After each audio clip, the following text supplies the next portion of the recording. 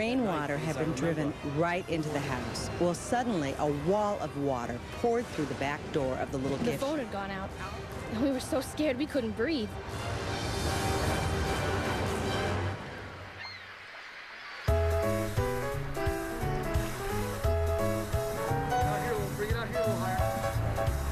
Tuesday, September 20th, 1938.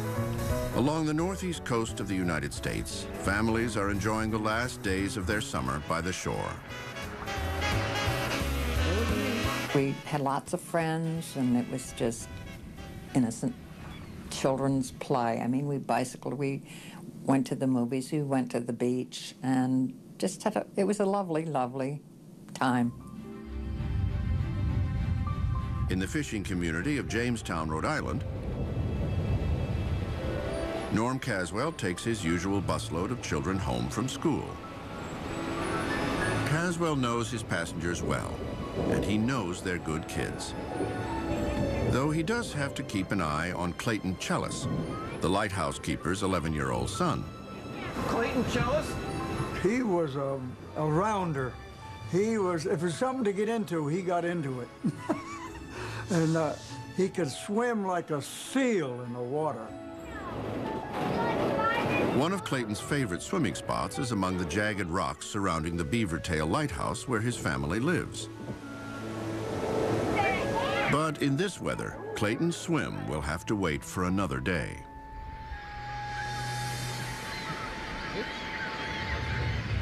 About 40 miles away, on Napatree Point in Watch Hill, Rhode Island, the Moore children play at their summer home, a place they call heaven on earth. Their father, Jeff Moore, runs a successful elastic factory. A former high school football captain, he once led his team to a 122 to nothing victory. Since his days of gridiron glory, he's bulked up to more than 200 pounds.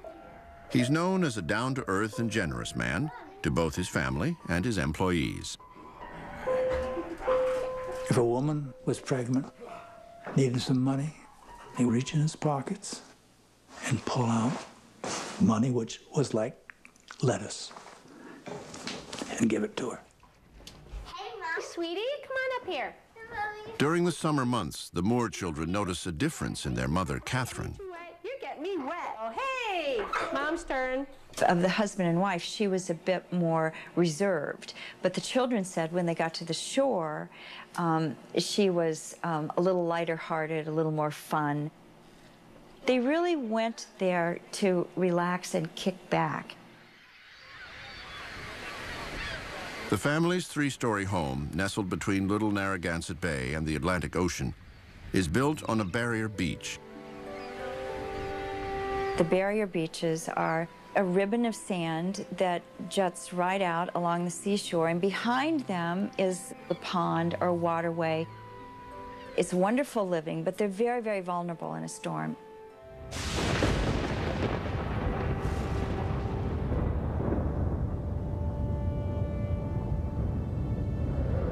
Forty miles away, rain is falling in Connecticut.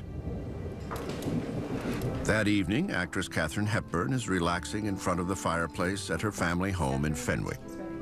Thank you, darling. She ponders her tumultuous relationship with movie mogul Howard Hughes, who has recently proposed to her. At that point, Hepburn did not want to marry Hughes. And I think it was mostly because her career was in such a terrible place at that point.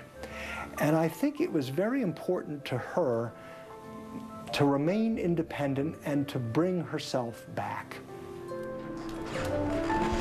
For her comeback, she mulls over whether to lobby for the role of Scarlett O'Hara or to star in a new play a friend is writing for her. It was the story of a young woman who had divorced her husband and was about to marry another man. And, and it was what happens during the weekend of that particular wedding. It was, of course, the Philadelphia story. Unbeknownst to Hepburn and millions of others on the northeast coast, they are in the crosshairs of a violent hurricane. A tropical disturbance of dangerous proportions. Just one day earlier, meteorologists Grady Norton and Gordon Dunn predicted it was going to hit 1,400 miles south in Miami. They now assume the hurricane will follow a familiar pattern and disintegrate once it hits the cool waters off New England. By 9 p.m., the hurricane is lurking somewhere southeast of Cape Hatteras, North Carolina. But instead of dying off, it's growing more powerful due to a rare convergence. When hurricanes get this far north and they begin to interact with a cold front, well, that front represents temperature contrast. So when you put the two together, Mother Nature is trying to get that hurricane to be more like a winter-like system. These temperature contrasts, along with the jet stream, a river of air roaring through the atmosphere, cause the hurricane to grow larger and transform it into what is called an extratropical cyclone. It is a transition that, by definition, can possess remarkable amounts of energy, power in the atmosphere. And if they are directed toward a coastline, can have dramatic results. The jet stream greatly expands the reach of wind and rain generated by the hurricane, giving it the potential to strike an area more than 500 miles wide. And it helps double the hurricane's speed to over 40 miles an hour. It is now one of the fastest on record, moving so rapidly that it doesn't have time to die out over the cold waters of the North Atlantic. All vessels in But Weather Service warnings have cautioned most ships to evacuate the area. And without the sailors' first-hand reports, government meteorologists are unaware that the gigantic storm is racing toward the millions of people who live in the Northeast.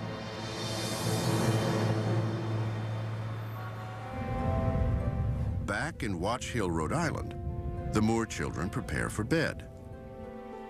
Mommy, it's been raining a lot lately. Yes, it has. Before going to sleep, eight-year-old Kathy Moore quizzes her mother about the recent spell of rainy weather.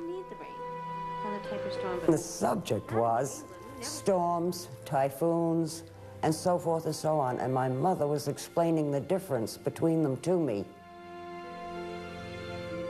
Kathy remembers saying, what is a hurricane? And her mother saying, oh, don't worry about it. Hurricanes don't come to New England. Okay. Good night, sweetie. People had no clue that one of nature's most powerful historical weather events was about to come crashing ashore.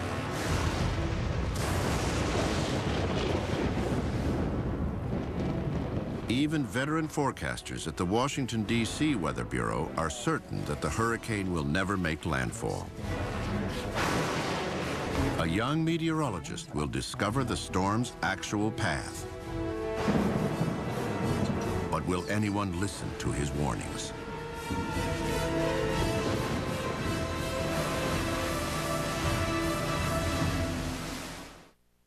Levees. They collapsed